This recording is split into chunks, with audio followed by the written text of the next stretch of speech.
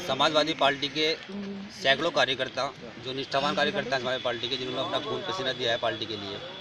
आज उन लोगों ने समाजवादी पार्टी के जिलाध्यक्ष, जो एक तानाशाह जिलाध्यक्ष है, निष्क्रिय जिलाध्यक्ष है, उसने समाजवादी पार्टी कार्यकर्ताओं का उत्पीड़न करना शुरू कर दिया है, एक यादव होने के नाते। समाजवादी पार्टी के कार्यकर्ता आज उसके खिलाफ धरने बैठे हुए हैं समाजवादी पार्टी कार्य ज़िले कार्यकालय के अंदर। और हमारी मांग यह है कि समाजवादी पार्टी जिलाध्यक्ष, निष्क्रिय जिलाध्यक्ष को तत्काल पार्टी से हटाया जाए। ये हमारी सब लोगों की मांग है। इन लोगों ने समाजवादी पार्टी के प्रत्याशी 2012 में जो प्रत्याशी रहे हैं 2014 में जो प्रत्याशी रहे हैं 2017 के नगर निकाय चुनाव में जो प्रत्याशी रहे, उन लोगों का विरोध किया है।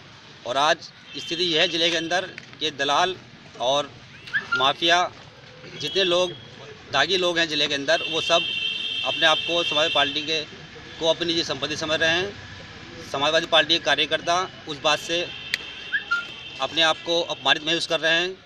हम हाईकमान से माननीय अखिलेश यादव जी से, माननीय नरेश पटेल जी से मांग करते हैं कि समाजवादी पार्टी जिलाध्यक्ष यादव जी को हटाया जाए और उनकी जगह पर एक निष्ठावान, समर्पित कार्यकर्ताओं को जिलाध्यक्ष बनाया जाए ताकि 2019 के लोकसभा चुनाव में सपा बसपा गठबंधन जो हुआ है, उसको लेकर के हम जनता के बीच में जा सके।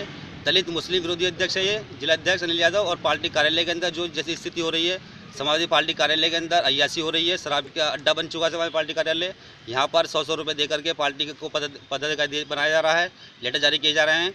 हमारी हाईकमान से मांग है कि इस ऐसी कार्रवाई पर इस पर विराम लगा, लगना चाहिए और तत्काल समाजवादी पार्टी जिलाध्यक्ष को हटाया जाना चाहिए।